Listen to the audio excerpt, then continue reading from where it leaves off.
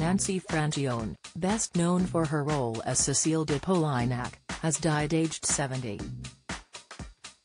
A cause of death has not been disclosed for the daytime soap star, who appeared in NBC's Another World as the villainous Cecile, between 1981 and 1984. She died on August 18 in her hometown of Barnstable, Massachusetts, 71 miles south of Boston. Her acting career began when she took over the role of Tara Martin in ABC's All My Children from 1977–79. For her iconic performance as Cecile, Frangione won the Soap Opera Digest's Outstanding Villainess Award.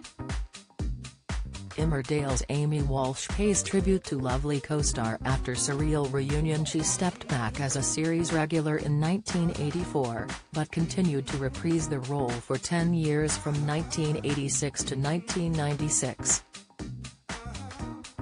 In 1985, she filled in for actress Andrea Evans to portray Tina Lord in One Life to Live when the soap opera star was ill. Frangione also portrayed Fran Fine's cousin Marcia on CBS The Nanny.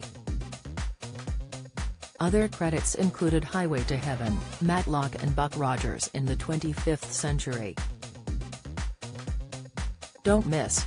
Kanye's new wife granted power of attorney to take control of Comeback, Insight, Robert De Niro enjoys star-studded bash with Leo, Paul McCartney and more, photos, Kate Hudson glowing in leotard as she plays guitar and teases music career, social, daytime soap fans have been mourning her loss, with many taking to X-Twitter to post tributes.